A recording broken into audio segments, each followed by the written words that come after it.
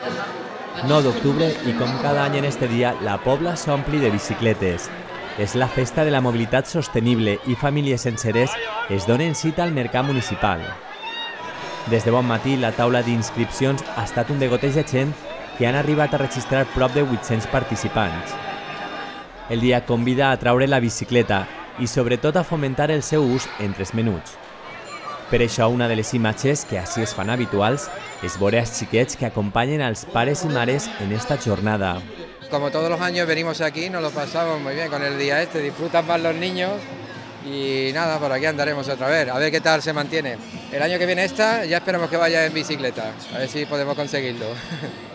És la primera vegada que vinc, ja he vist un sense la Pobla, però me pareix una, una molt bona idea el, el fomentar l'ús de la bici i més que tot per als, Hemos venido con todos los amigos a pasar el día. La verdad es que los niños disfrutan muchísimo en el día de hoy por hacer algo juntos con la familia.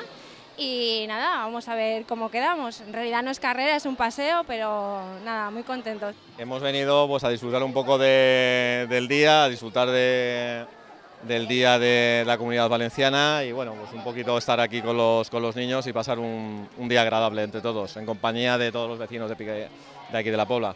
maravilloso, una oportunidad estupenda para, para poder ir por sitios donde no podemos ir normalmente y disfrutar de la bici. Un dia per passar tots junts, famílies i també associacions esportives, culturals o de veïns que s'agrupen amb samarretes que els identifiquen.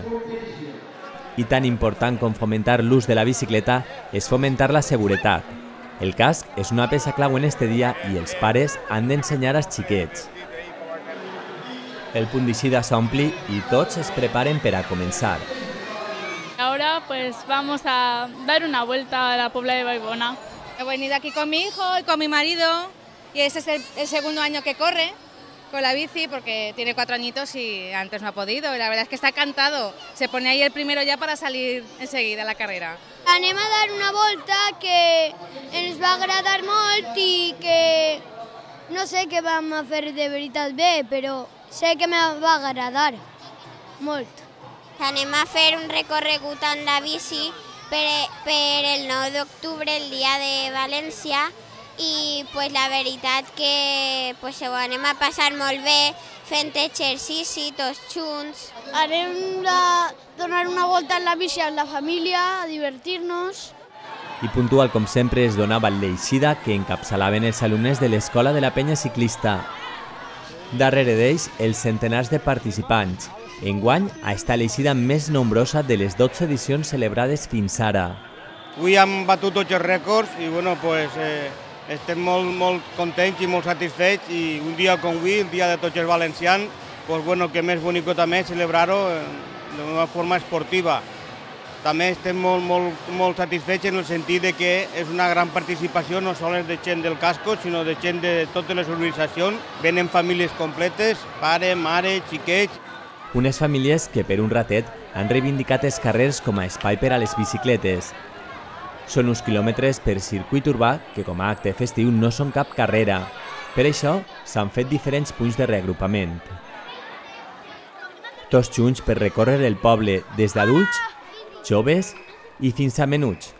Alguns tan xicotets com este, però molts més han protagonitzat el matí.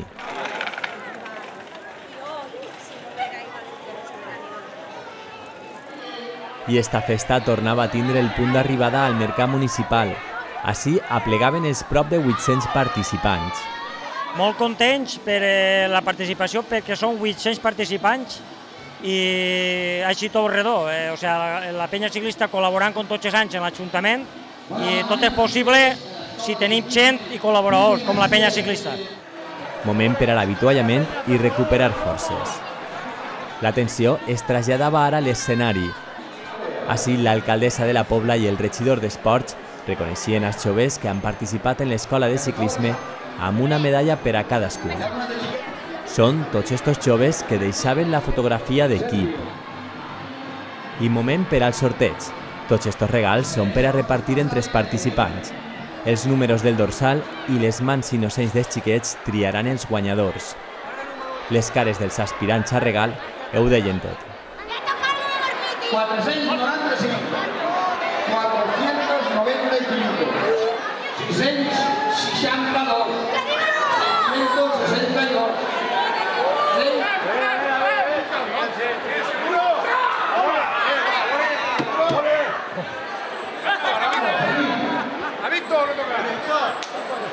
En acabar els regals, aplegava el sorteig més esperat, les bicicletes. El primer guanyador va ser este xiquet, i la segona de les bicicletes serà per a Josep Navarro. Sempre ve una bicicleta, no, para la xiqueta? Es tancava així la dotzena festa de la bicicleta i també la que ha estat la més participativa.